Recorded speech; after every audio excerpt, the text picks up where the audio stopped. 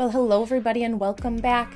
Now, unfortunately here in Minnesota, the rock hounding season is kind of coming to an end, but I thought it would be a fun idea to go through some of my favorite rocks that we have found this season. Now, at the beginning of this season, I was actually six months pregnant, and it did get increasingly more difficult throughout this season as my belly began to grow. Now, in this very first video, it was pretty cold here still in Minnesota, and the day that I went, it was actually pretty windy as well. So, made sure to keep on my rain boots and just do the best that I could. Oh, I just got water in my boots. And in this video, we ended up finding my very first agate of the season. It's really, really pretty. It's red. It has this beautiful quartz in it, and it was such a fun find. We also got to find some other really unique rocks in this video. We found a few quartzes that were great for tumbling, smoky quartz, a milky quartz, and this cool piece of chert.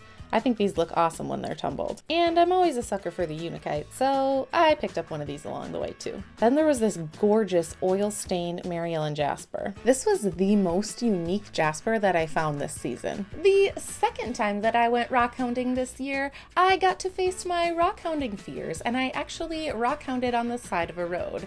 Now, I was a little nervous because I did look kind of silly in my getup when I was looking for rocks, but it ended up being a pretty cool adventure. I found this really really cool red translucent rock. Now I know it's not an agate, but I'm still actually not sure what this one was. Then we got to go to an island adventure, another one of my very favorite places to go, and one of the places that I actually found one of my very first agates.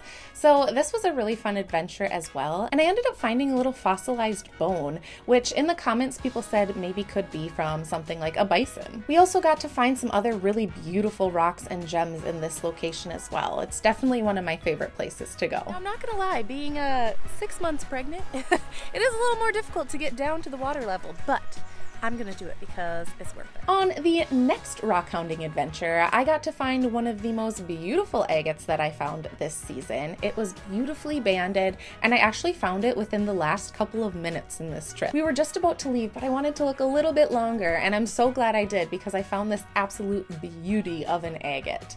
Which is one of the things when you're rock hounding that can be really difficult is to stop and turn around because you never know what you're gonna find next. I also found this gorgeous piece of banded ironstone. It has has this awesome metallic sheen that looked really cool. And of course, you know me, I am a sucker for the agates, and I ended up finding this super unique one with a giant chunk of quartz right in the middle. It was such a gorgeous find and even had this kind of white banding along the outside of it. And I couldn't forget about this awesome piece of Bumblebee Jasper. Well, now look at this cool discovery. it's like this big long tree.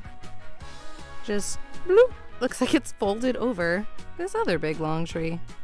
And of course, when you're rock hounding, you're out in the beautiful wilderness, so we ended up coming across some super cool wildlife as well. Some little fishies swimming in the pond, and a little baby frog. Then we got to do an adventure that I was super excited for this entire season. We got to go to Moose Lake, which is the self proclaimed agate capital of the world. And I think that they held up their end of the bargain. We ended up finding some super cool agates when we were there. And I probably found the most agates there that I did this entire season. We started on the Moose Lake River that connects to Moose Lake, and I ended up finding lots of little agate gems and some other really cool stuff there as well. The sheer amount of agates and their little quirks and qualities really made this trip such a special one. Then in this video, we got to look at the actual Moose Lake. I ended up finding a really cool agate and one of the biggest ones that I found from this trip. It's super gorgeous and has this beautiful silica right in the middle. It's like a dark brown. We also found some other really cool rocks on this adventure including two green rocks, one that was filled with epidote and the other that was kind of like a funky green jasper. Then I decided to take a look in some gravel pits, which is one of the first times that I ever went rock hunting in a gravel pit before. And to be honest, I was kind of underprepared. And I ended up finding some smaller agates in the first pit that we went to, but unfortunately in the second agate picking location, I don't think I found a single agate except for going in and coming out. It was a really long walk to get to that second pit, and I was also also really pregnant at the time, so this was probably one of my least favorite adventures to be honest, but it was still a really fun time, and the first time that I got to go agate picking in a gravel pit. We continued to look around that Moose Lake area and found this absolute beauty of an agate. It is so gorgeous and has some really unique coloring on it that you don't typically find in a Lake Superior agate. This was probably one of the best locations that we looked at this season because it had so many unique rocks that we found there, including a giant agate nodule, some bumblebee jasper, banded chert, and a rock that even had some copper inclusions. Then we continued on our North Shore rock honing adventure and found some other really cool things. We found some mica that I thought looked like a wolf head, but a lot of people in the comments said it looked kind of like a bird, so maybe it looks like a bird head too. There was even a funky schist milky quartz conglomerate. Now, while we were in Moose Lake, we also got to check out a construction site. So, at the campsite that we were staying at, we had talked to the local owners, and they said if you want to find some cool rocks, that we should check out the construction area that was going on nearby. So, we went to take a look, and we ended up finding the largest find of this season. It's a really unique rock, and I'm honestly not entirely sure what it is. And last but not least, I couldn't go this season without doing at least one rock bucket video. So, my husband gets rock buckets from a local gravel pit. And what's really cool about them is you don't have to go anywhere special to go rock hounding. You can get the rocks brought right to you.